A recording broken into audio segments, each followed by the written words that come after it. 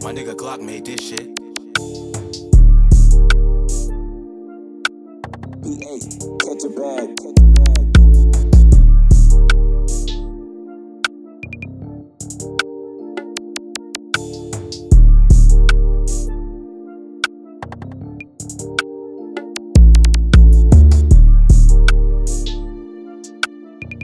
a bag.